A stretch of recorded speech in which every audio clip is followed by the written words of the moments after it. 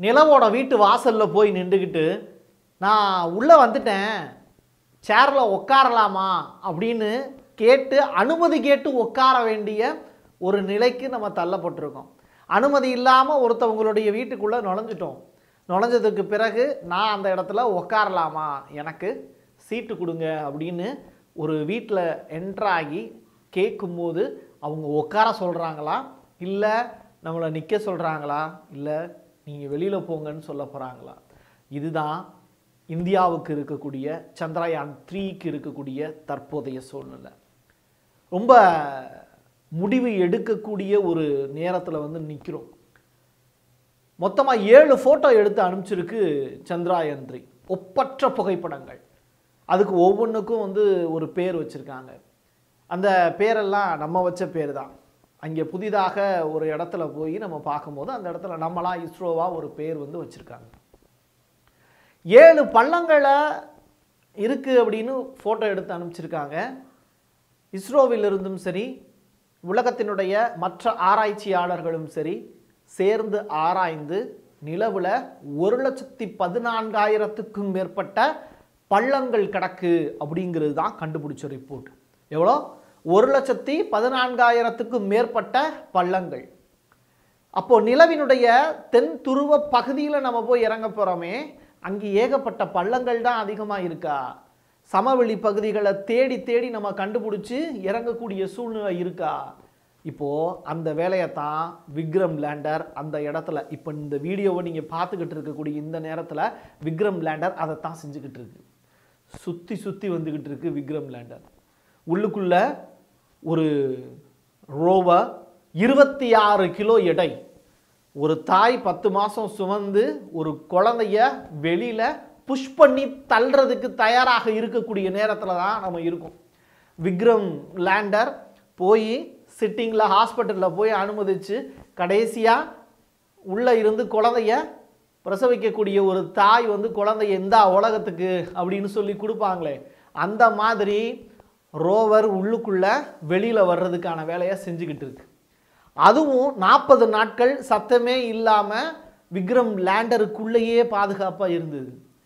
இங்கேருந்து கொஞ்சம் யோசிச்சு பாருங்களேன் ஒரு நாற்பது நாள் இங்கேருந்து நம்ம அனுப்பிச்சிருக்கோம். அது நீள்வட்ட பாதையில் சுற்றுது வெவ்வேறு டெம்பரேச்சரை தாண்டி போது பூமியில் ஒரு டெம்பரேச்சர் இருக்கும். நிலவில் minus two hundred and forty degree Celsius இருக்கும். இந்த வெப்பத்தையும் குளிரையும் தாங்கி அது அவ்வளோ தூரம் பயணித்து எந்த விதமான ஆக்டிவிட்டியுமே இல்லாமல் ஃபார்ட்டி டேஸ் வந்து சத்தமே இல்லாமல் அந்த ரோவர் வந்து அப்படியே இருக்குது பயன்படுத்தாத ஒரு பொருள் திடுதுப்புன்னு பயன்பாட்டுக்கு போகும்போது எவ்வளவு சிக்கல் இருக்கும். நீங்கள் டூ வீலர் ஓட்டியிருக்கீங்க கார் ஓட்டியிருக்கீங்க திடுதுப்புன்னு வண்டியை ஸ்டார்ட் பண்ணும்போது அது ஒரு மழை நேரமாகட்டும் வெயில் நேரமாகட்டும் திடுதுப்புன்னு ஸ்டார்ட் பண்ணும்போது அந்த வண்டி ஸ்டார்ட் ஆகுமா? ஒரு டவுட் இருக்கும்ல. கிக் பண்ணுறதுக்கு லேட் ஆகும்ல. அது மாதிரியான சுச்சுவேஷன் ரோவருக்கு இருக்கா? இருபத்தி ஆறு கிலோ எடை. மூன்று அறிவியல் கண்டுபிடிப்புகளை கண்டுபிடிச்சு நம்மக்கிட்ட சொல்ல போகுது. தனிமங்கள் இருப்பா இருக்காங்கிறத ஆய்வு பண்ண போகுது. மூன்று முக்கியமான நடவடிக்கைகளில் அந்த ரோவர் ஈடுபட போகுது. மூன்று அறிவியல் உண்மைகளை நம்மக்கிட்ட கண்டுபிடிச்சு சொல்ல போகுதுங்கிறது ரொம்ப முக்கியமான ஒரு விஷயம். கூகுள் மேப் எந்த அளவுக்கு முக்கியமோ அதே மாதிரி ஒரு ரெண்டு கேமராவில் ஒன்று கூகுள் மேப் செய்யக்கூடிய வேலையை தான் இப்போது விக்ரம் லேண்டருக்கு சொல்லி கொடுத்துக்கிட்டு இருக்கு. எழுபது கிலோமீட்டருக்கு மேலே ட்ராவல் பண்ணி சுற்றிக்கிட்டே இருக்குது நிலவினுடைய வீட்டுக்குள்ளே. உட்கார்றதுக்கு இடம் கொடுங்க அப்படின்னு. முப்பது கிலோமீட்டரில் வந்து நின்றுக்கோப்பா. நீ வந்து முப்பது கிலோ கிலோமீட்டரை வந்து நம்ம ஃபாலோ பண்ணிக்கலாம் அப்படின்னு சொல்லும்போது இல்லை என்னால் இருபத்தஞ்சி கிலோமீட்டர் தான் வந்து பிரேக் பிடிச்சி நிற்க முடிஞ்சுது அப்படின்னு சொல்லக்கூடிய ஒரு கதையாக மாறினதுனால ஒவ்வொன்றுக்கும் ஏக்கு ஒரு பிளான் பிக்கு ஒரு பிளான் மொத்தம் ரெண்டு பிளான் ஒவ்வொரு ஈவெண்ட்லேயுமே இஸ்ரோ கையில் வச்சுக்கிட்டு சுற்றிக்கிட்டு இருக்காங்க. இப்போது ஏ பிளானை கையில் வச்சுருக்காங்க. சப்போஸ் அவங்களால அக்சஸ் கிடைக்கல அப்படின்னா பிளான் பியை செயல்படுத்துறதுக்கும் இஸ்ரோ தயாராக இருக்குது ஆகஸ்ட் மாதம் இருபத்தி ஏழு அப்படிங்கிற தேதியையும் சூஸ் பண்ணுறதுக்கு தயாராக இருக்காங்க. இந்த ரெண்டாவது கேமரா எந்த இடத்துல பள்ளம் இருக்குது அப்படிங்கிறத அந்த கேமரா தான் ரொம்ப முக்கியமானது. இந்த ரெண்டு கேமராவும் எடுத்து அனுப்பக்கூடிய புகைப்படங்கள் அப்படிங்கிறத வச்சு தான் ரொம்ப முக்கியமாக கால்குலேட் பண்ணுறாங்க இது எல்லாமே பிளாக் அண்ட் ஒயிட்டில் இருக்கக்கூடிய புகைப்படங்களாக இருக்குது நம்மளுடைய கமெண்ட் பாக்ஸ்லையும் சரி நம்முடைய நேயர்களும் சரி ஃபோன் பண்ணி நம்முடைய சக செய்தியாளர்களும் ஏன் பிளாக் அண்ட் ஒயிட்டில் இருக்குது அப்படிங்கிறத பற்றி சொல்லு அப்படின்னா நிழல். பூமியில் நிழல் வந்து எப்படி விழுகுமோ அதை வச்சு அதனுடைய ஹைட்டை எப்படி நம்ம ஐடென்டிஃபை பண்ணுவோமோ அதே மாதிரி கருப்பு வெள்ளை புகைப்படங்களாக அது எடுக்கிறதுக்கான ஆப்ஷனை அங்கே இருக்கக்கூடிய கேமராவுக்கு நம்ம கொடுக்கும்போது எளிமையாக அந்த இடத்துல இருக்கக்கூடிய கருப்பு வெள்ளை புகைப்படங்களை எடுத்து அனுப்பிச்சது அப்படின்னா அந்த ஒரு பொருளுடைய நிழல் எவ்வளவு ஹெயிட்டில் இருக்குது அது எவ்வளோ வெயிட்டில் இருக்குங்கிறத நம்மளால் எளிமையாக கண்டறிந்து சொல்ல முடியும். அதை வச்சு நம்ம என்ன பண்ணலாம்? அந்த இடத்துல பள்ளம் இருக்கா? மேடு இருக்கா? அது இவ்வளோ வெயிட் இருக்குது இவ்வளவு டிகிரி சாஞ்சிருக்கு அப்படிங்கிறத கண்டுபிடிக்க முடியுங்கிறதுனால தான் பிளாக் அண்ட் ஒயிட்டை சூஸ் பண்ணியிருக்காங்க. இன்னும் சில பேர் வந்து மஞ்சள் நிற போர்வையாக போற்றி இருக்கக்கூடிய அந்த விக்ரம் லேண்டர் ஏன் இப்படி போத்தி வச்சுருக்காங்க அப்படிங்கிற ஒரு கேள்வி. இது எல்லாத்துக்குமே பதில் வந்து ரொம்ப சிம்பிள் தான். கதிர்வீச்சு பாதிப்பில் இருந்து அது விடுபடுறதுக்கு வெப்பத்தையும் குளிரையும் தாங்கக்கூடிய அளவில் இருக்கிறதுக்கு தான். சரி இந்த ரோவரில் முக்கியமான ஒரு மூணு பாகங்கள் இருக்கிறதா சொல்லப்படுதே. ராம்பா ஷேஷப் எல்சா அப்படின்னு சொல்லிட்டு மூன்று பாகங்கள். இது என்ன செய்ய போகுது அப்படின்னா ஃபஸ்ட்டு ரோவர் வெளியில் வரட்டும். லேண்டர் போய் இறங்கட்டும். லேண்டர் இறங்கணும்னா நம்ம என்னங்க பண்ணணும்? முப்பது கிலோமீட்டர் கொண்டு வந்து இப்போ இருபத்தஞ்சி கிலோமீட்டருக்கு பிரேக் அடிச்சு நின்றுக்கிட்டு இருக்கே. அதை என்ன பண்ணுறது அப்படிங்கிற கேள்வி எல்லாருக்குள்ளேயும் இருக்கும். இந்த கேள்விக்கான பதிலை நம்ம தொடர்ந்து சொல்லிக்கிட்டே இருக்கோம். ஆனால் பிளான் ஏ பிளான் பி அப்படிங்கிற ரெண்டு சாட்டை கையில் வச்சுக்கிட்டு இருக்கு. உங்களுக்கு ஒரு விஷயம் தெரியுமா? இந்தியா மட்டும் கிடையாதுங்க.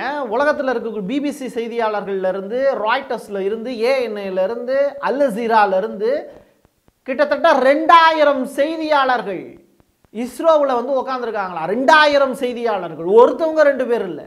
ரெண்டாயிரம் செய்தியாளர்கள் இஸ்ரோவினுடைய வாசல் வந்து உட்காந்துருக்காங்க இஸ்ரோவுக்கு வெளியில் இருக்கக்கூடிய கேப்சர் கேமரா இராணுவத்தோட பாதுகாப்போட வந்து பயங்கரமாக பெங்களூரில் இருக்கக்கூடிய ஸ்ரீஹரிகோட்டா அந்த ஏவுதளத்தில் இருக்கக்கூடிய இஸ்ரோ விஞ்ஞானிகள் பெங்களூரே ஹாட் சிட்டி அப்படின்னு சொல்லிட்டு இந்தியாவோட ஹாட் சிட்டி இன்றைக்கி எது அப்படின்னு கேட்டால் பெங்களூர் அப்படின்னு சொல்லக்கூடிய அளவில் இருக்குது அகமதாபாத்தில் இருக்கக்கூடிய ஒரு விஞ்ஞானி சொல்லக்கூடிய தகவல் தான் இன்றைக்கி வேர்ல்டு ஃபுல்லாக பேசு பொருளாக இருந்தது. பிளான் பி அப்படிங்கிறத அவர் தான் ஓப்பன் பண்ணார். ஆனால் சோம்நாத் சார் அந்த ஸ்டேட்மெண்ட்டை அவர் சொல்லவே இல்லை. ஆனால் டுவெண்ட்டி ஃபைவ் கிலோமீட்டருக்கு ஏன் போய் ரீச் ஆச்சு அப்படிங்கிறத பிரேக்கிங் சிஸ்டம் எந்த இடத்துல போய் இறங்குறது? எந்த இடத்துல போய் நிப்பாட்டுறது? நான் ஒரு பிளான் போடுறேன். தேர்ட்டி கிலோமீட்டர் ஸ்பீடில் போய் அந்த இடத்துல போய் நிப்பாட்டிடலாம். பட் அது என்னன்னா டுவெண்ட்டி ஃபைவ் கிலோமீட்டர் ஸ்பீடில் போய் நிற்கிது இங்கே. அப்போ என்ன பண்ண முடியும்? இதுதான் நமக்கு இருக்கக்கூடிய சுச்சுவேஷன் இப்போ இந்த சுச்சுவேஷன் மாறுமா? இல்லை இதையே கண்டினியூ பண்ண போகிறாங்களா நம்ம ஒன்று நினைக்கிறோம் அந்த இடத்துல ஒன்று நடக்குது அப்படின்னா அதுக்கு காரணம் வந்து புவி ஈர்ப்பு விசை. பூமியில் புவி ஈர்ப்பு விசை இருக்கும். நிலவுக்குன்னு ஒரு ஈர்ப்பு விசை இருக்குமே அதில் ஆறில் ஒரு மடங்கு தானே இருக்குது பாராசூட்டை வச்சு ஈஸியாக இறக்கிடலாமே ஏன் இறக்க முடியல? பாராசூட்டை வச்சு விக்ரம் லேண்டரை ஈஸியாக தரை இறக்கிட்டு வந்துடலாமே. ரோபோட்டை வச்சு ஈஸியாக பண்ணி விட்டுடலாமே. அப்போ ஏன் பண்ண முடியல அப்படின்னா அங்கே இருக்கக்கூடிய ஈர்ப்பு விசை தான் பிரச்சனை. அப்போது ஆறில் ஒரு பகுதி இருக்கக்கூடிய அந்த ஈர்ப்பு விசை அப்படிங்கிறது இங்கே அறுபது கிலோ இருக்கான்னா அங்கே பதினஞ்சு கிலோ தான் இருப்பான். அப்போ அந்த பதினஞ்சு கிலோ தான் இருக்கும்போது என்ன செய்ய முடியும்? மூவா மூணு லட்சத்தி எண்பத்தி நாலாயிரம் கிலோமீட்டர் கஷ்டப்பட்டு நாற்பது நாட்கள் ட்ராவல் பண்ணி அவ்வளோ எரிபொருளை சுமந்துக்கிட்டு லூனா டுவெண்ட்டி ஃபைவ் அப்படிங்கிற ஒன்று ஃபெயிலியர் ஆனதுக்கப்புறம் தானங்க நமக்கு இவ்வளோ பெரிய சக்ஸஸ் இருக்குங்கிறதே தெரியுது. அதில் இல்லை லூனா டுவெண்ட்டி ஃபைவ் ஃபெயிலியர் ஆகலை அப்படின்னா சந்திராயன் த்ரீ அப்படிங்கிற விஷயத்தை பற்றி இன்றைக்கி இருக்கக்கூடிய இளைஞர்கள் நம்ம மறந்து போயிருப்போம்ல. இன்றைக்கி இவ்வளோ தூரம் சாஃப்ட் லேண்டிங்கை பற்றி ஒவ்வொருத்தவங்களும் ஆராய்ச்சி பண்ணிக்கிட்டு இருக்கோம்ல. குட்டி ராக்கெட்டு கீழுக்குள்ளே இருக்கே அதோட ஸ்பீடை வந்து எப்படிங்க கம்மி பண்ணுவாங்க? எதிர்வினை ஆற்றும் போது அது எப்படிங்க அதோட ஸ்பீட் ரேஷியோ கம்மியாகும்? அது மட்டும் இல்லாமல் ஏழு புள்ளி நாலு கிலோமீட்டர் வந்து உயரத்துக்கு வரும்போது மணிக்கு ஆயிரத்தி இரநூறு கிலோமீட்டர் ஸ்பீடில் போச்சுன்னா ஆயிரத்தி இரநூறு கிலோமீட்டர் ஸ்பீடு நல்லா யோசிச்சு பாருங்க. ஒரு ஒரு ஒரு ட்ரெயின் வந்து இரநூத்தி முப்பது கிலோமீட்டர் ஸ்பீடில் போகும்போது உங்களால் விசிபிலிட்டியே இருக்காது. அப்போ ஆயிரத்தி இரநூறு கிலோமீட்டர் ஸ்பீடில் வந்து ரன் ஆகுது அப்படின்னா அது எவ்வளோ கிலோமீ அதனுடைய வீச்சு அப்படிங்கிறது எவ்வளோ இருக்குது அப்போ அதை கேப்சர் பண்ணக்கூடிய கேமரா அப்படிங்கிறது ஆர்பிட்டர் நமக்கு தகவல் அனுப்பிச்சுக்கிட்டே இருக்குல்ல சந்திராயன் டூல இருந்து நமக்கு நல்ல ஒரு செல்ஃபோன் மாதிரியான தகவலாக இருக்குல்ல? அப்போது சந்திராயன் த்ரீல இருந்து விக்ரம் லேண்டர்ல இருந்து கிடைக்கக்கூடிய தகவல்களை ஒரு ஃபோன் மூலியமா நண்பா நான் இங்கே தான்டா இருக்கேன் அப்படின்னு அவங்க சொல்லக்கூடிய தகவலை டேரெக்டாக நமக்கு சொல்கிறதுக்கு ஒரு ஆர்பிட்டரோட ஹெல்ப் இருக்குல்ல? சந்திராயன் டூ வந்து தோல்வி அடைஞ்சது பரவாயில்ல அப்படின்னு தான் நான் சொல்லுவேன். ஏன் அப்படின்னா இன்றைக்கி சந்திராயன் டூ அப்படிங்கிற ஒன்று ஃபெயிலியர் ஆனதுனால தான் சந்திராயன் த்ரீ வெற்றியை வந்து நம்மளால் ருசிக்க முடியுது. இது எவ்வளோ பெரிய கஷ்டமான ஒரு ப்ராஜெக்ட் அப்படிங்கிறது தெரியுது. ஒரு எலெக்ஷனுக்கு ஐயாயிரம் கோடி ரூபாய் செலவு பண்ணக்கூடிய கட்சிகள் வெறும் அறுநூத்தி பதினஞ்சு ரூ கோடி ரூபாயை கொடுத்து இஸ்ரோவுக்கு வந்து ஒரு பெரிய டார்கெட்டை கொடுத்துருக்காங்க. ஆனால் அதில் சக்ஸஸ் பண்ணுறான் பாருங்க. காசு போனால் அமெரிக்காவில் அவ்வளோ இருக்கு. ஆனால் நம்மக்கிட்ட மட்டும்தான் மனித வளம் அப்படிங்கிறது இருக்குது அறிவுங்கிறது இருக்குங்கிறத மயில்சாமி அண்ணாதுரை இஸ்ஸார் கூட ஒரு ஸ்டேட்மெண்ட்டாக பதிவு செஞ்சுருந்தார்.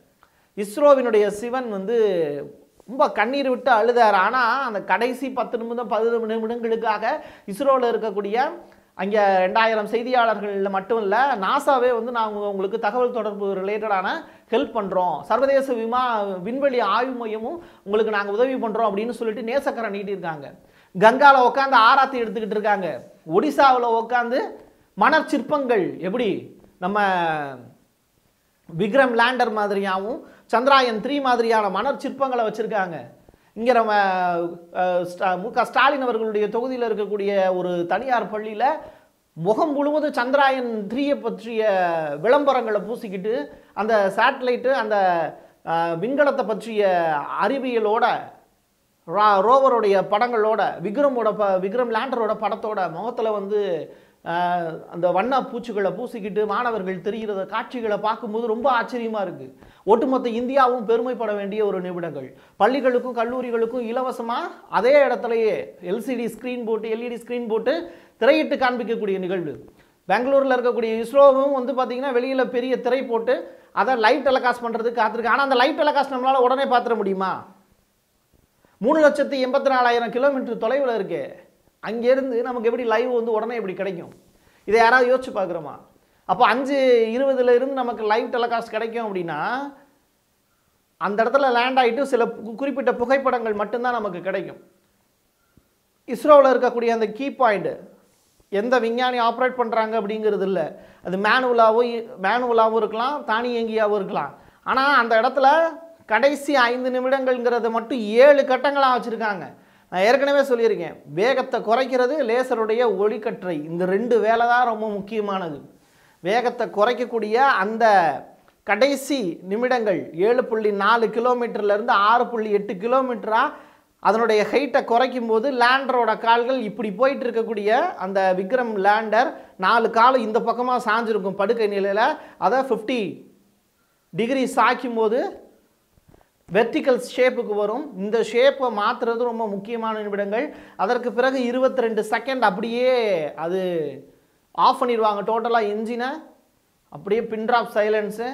அந்த இடத்துல இருந்து பத்து மீட்டர்லேருந்து கீழே விடணுமா? இல்லை ரெண்டு மீட்டர் வரைக்கும் இறக்கி கீழே விடலாமா தரையில் அப்படிங்கிறத அந்த அன்னைக்கு இருக்கு நேத் இன்னைக்கு சாயங்காலம் அஞ்சு நாற்பத்தைந்து மணிக்கு மேலே அதை முடிவு பண்ண போகிறாங்க நூற்றி ஐம்பது மீட்டர் லேண்டர் வந்து சந்திரனில் வந்து அப்படி மிதக்கும் அப்படின்ட்டு இருக்காங்க.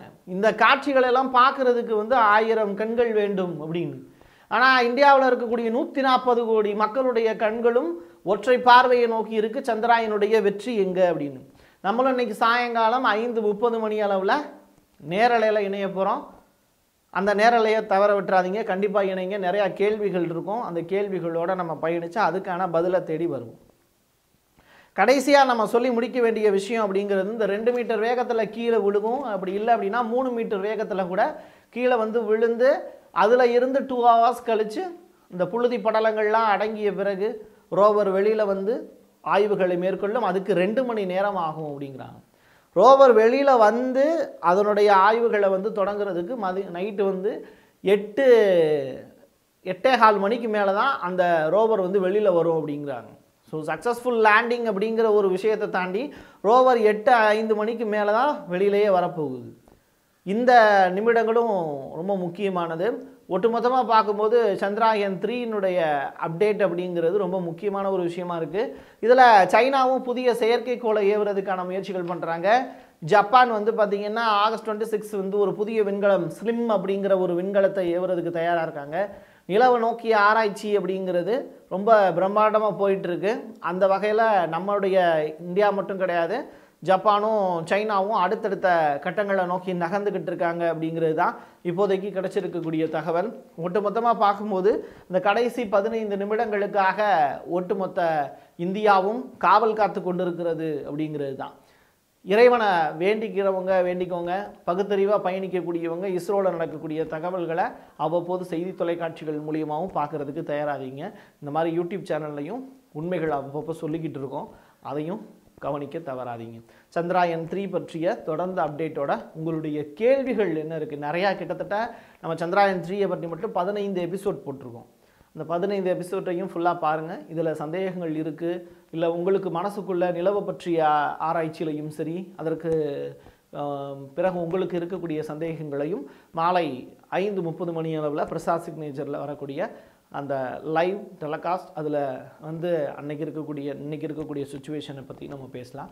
தொடர்ந்து இணைப்பிலே இருங்க. ஏன்னா என் கையெழுத்து என் மக்களுக்கானது. மீண்டும் ஒரு பதிவில் சந்திக்கிறேன். நன்றி வணக்கம்.